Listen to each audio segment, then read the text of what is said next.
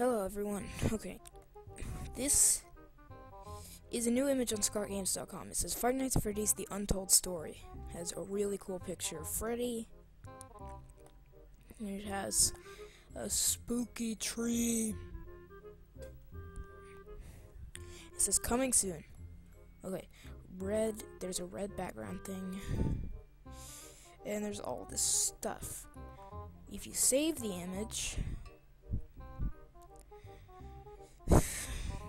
it says Five Nights at Freddy's, the novel.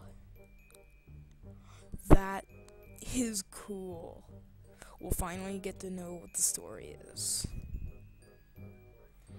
Unless he's as vague and everything as the actual game is, where he's just like Purple Man, Freddy, Bonnie, Golden Freddy.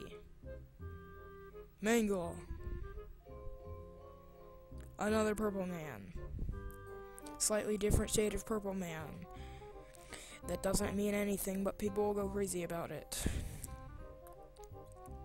Okay, so, let me see if there is any brightness adjustments that I can make. Probably not, because, you know, but it'll probably it'd be cool if it had like a something in the eyes or over here or something. What? Oh.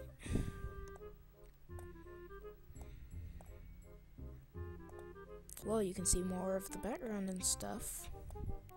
Did somebody get rid of Freddy or something? What? Huh? The levels.